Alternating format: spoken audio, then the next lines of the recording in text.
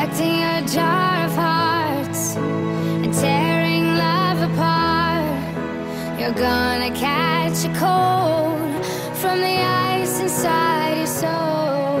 So don't come back.